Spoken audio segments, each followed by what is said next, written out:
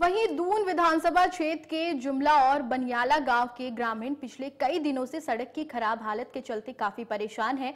भारी बरसात होने की वजह से कच्ची सड़क पर कीचड़ जमा हो गया है और रास्ते में कुछ जगहों पर लैंडस्लाइड होने से मार्ग भी अवरुद्ध हो गया है, जिस कारण ना तो सरकारी बस और ना ही कोई गाड़ी उनकी आर पार जा सकती है ग्रामीणों का कहना है कि स्कूल के बच्चों को भी स्कूल जाने में परेशानियों का सामना करना पड़ रहा है ग्रामीणों ने सड़क को जल्द से जल्द ठीक करने की गुहार लगाई है।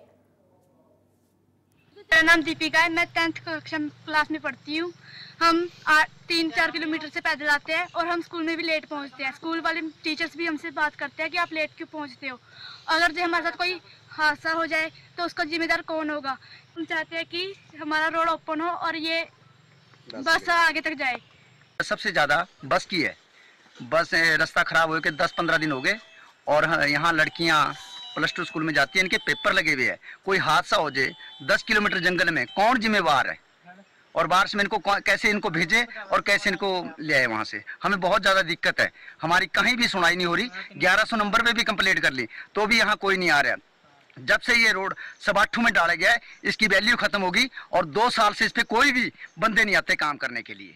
हमारी हाथ जोड़ के अर्ज़ है कि इसको या तो डिवीज़न कसौली में डाला जाए या इसको बद्दी सर्कल में डाला जाए। रोड की खस्ता हाल होने के कारण हम रात को ड्यूटी से 12 बजे आते हैं छुट्टी करके।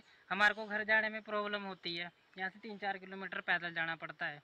और रोड के बहुत बुरे हाल है। गाड़ी हमारी आगे जाती नहीं है। स्कूल के बच्चे पढ़ने से घर में ही रह रहे हैं। आधे जा रहे हैं अद्धे नहीं जा रहे। बड़े बच्चे पैदल जा रहे हैं।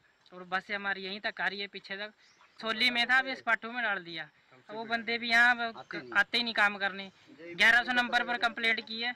वो भी कोई सुनवाई नहीं कर रहे हैं ना किसी को भेज रहे हैं इधर। तो मैं कम से कम दस किलोमीटर पैदल इस पॉइंट तक आ रहा हूँ जहाँ के रोड की कंडीशन बहुत ज़्यादा ख़राब है और एक हफ़्ते से तो बिल्कुल ज़्यादा ख़राब है।